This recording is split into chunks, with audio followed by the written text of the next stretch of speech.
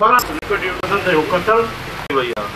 plus में हुनजी movie recording करे इंटरनेट ते ॾिनी वई आहे असां हींअर वियासीं एस पी साहिब हुननि असांजी एप्लीकेशन मंज़ूर करे कयो आहे सनी शेख ऐं प्लस में टे जवाबदार हिन वक़्तु ॿार आहिनि मां सिर्फ़ु और सिर्फ़ु हिन वक़्तु हाज़िर थियो आहियां घणो टाइम संगत जो ॿाहिरि जो बुज़ुर्ग जो न वठंदुसि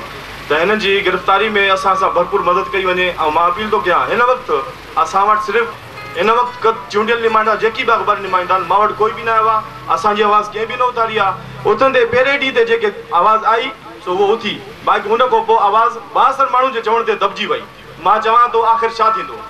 आख़िर छा थींदो निशिकारपुर जो अॼु मुंहिंजे बचड़े सां थी आहे सुभाणे तव्हांजनि सां थींदी मां अपील थो कयां हिननि खे सरे आम ॾिनी वञे आईंदा सत्रहं पीढ़ी हिन ॻाल्हि खे यादि रखे साईं ऐं मां भरपूर इतिजाज थो कयां हिन ॻाल्हि जो त मां सां आल पार्टी साथ ॾियनि मां भरपूर हिननि सां गॾु आहियां ऐं मां सां इंसाफ़ कयो हुजे इंसाफ़ जे कॾहिं आणियो वियो हुजे इहा ना इंसाफ़ी आहे तमामु ना इंसाफ़ी आहे इन्हनि माण्हुनि वटि अञा ॿियनि माण्हुनि जी बि मूवी रिकॉर्डिंग पई आहे जेको हे मंथलियूं वठी करे उन्हनि खे ब्लैक मेल करनि था हुननि खे चवनि था असांजी मंशियात खणी वञो असांजो शराबु खणी वञो असांजे छोकिरे बि हिननि इन्हनि सिलसिले में जेको आहे माना खयों हुननि नाइनकारी कई जेको इंटरनेट ते ॾिनी वई हाणे हिन वक़्तु टे जवाबदार ॿार आहिनि जेको अतु शेख आहे ऐं बिलावल शेख आहे फिदा शेख आहे डी एस पी साहिबु रेड कई सो सोहो भॼी विया हुननि सां बासर माण्हुनि जो हथ आहे हुननि खे गिरफ़्तार कराए हुननि खे सरे आम फासी ॾिनी वञे असांजे आख़िरी मरते दम ताईं असां ठाहींदासीं कोन हिननि सां असां पठाण जो गैरतमंद आहियूं भले सिर वञे त वञे पर असांजे बचड़े जो इहो नाइंसाफ़ी नामंज़ूरु आहे